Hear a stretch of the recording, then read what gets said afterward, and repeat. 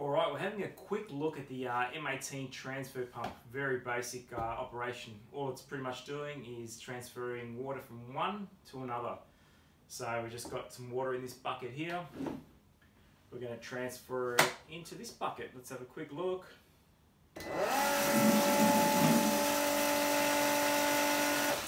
Not bad. Not bad at all. It's pretty slick. So there you go guys, the M18 transfer pump. For plumbers I reckon. Be a good idea, pretty handy. Love it. Done. Go grab one. Total Tools. Available right now.